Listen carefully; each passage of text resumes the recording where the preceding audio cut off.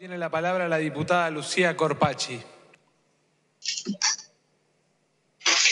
Muy buenas noches, señor presidente.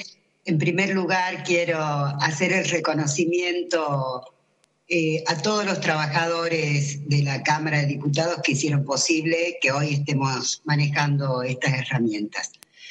Reconocer que estamos efectivamente en un día histórico, no deseado, porque no hubiéramos querido interrumpir este contacto personal que tenemos entre todos los compañeros diputados y poder cara a cara este, debatir.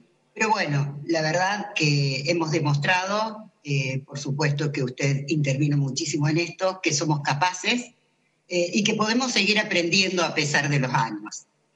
Eh, esto de tener una sesión remota eh, es formar parte de la historia, pero también quiero recalcar que formar parte de la historia es poder decir, y lo digo con muchísimo orgullo, que nuestro espacio político eh, cumple por, bueno, es la primera vez que un espacio político tiene paridad de género en la Cámara de Diputados.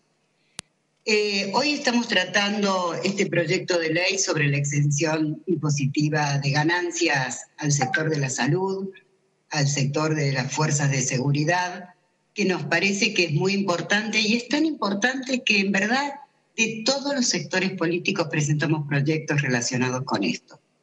He escuchado voces que dicen que no alcanza con solamente este, eh, exceptuar de ganancias a estos, a estos trabajadores, sino que debiéramos incorporar a, a otros. Lo cierto es que yo creo que nadie está expuesto de la manera que está el sector de salud a eh, la posibilidad de contagiarse por la alta carga viral que reciben todos los días al atender a estos pacientes. Pero además de eso, eh, cuando un trabajador de la salud se contagia, todo el equipo que forma parte de esa guardia debe ser retirado. Por lo tanto, el sector de salud se va diezmando paulatinamente. Y le vamos a pedir que cubra más guardias que las habituales. Si al pedirle que cubra más guardias que las habituales, esa diferencia económica se la va a quedar ganancias, no tiene justificativo, estamos afectando casi, diría, el derecho a que a más trabajo gane más. Por eso me parece que esto, este, además del reconocimiento, de la gratitud a todo el personal de salud, a todo el personal de seguridad, es este, realmente cumplir con la obligación que como Estado tenemos de reconocerles no solo con los aplausos, sino también económicamente su trabajo.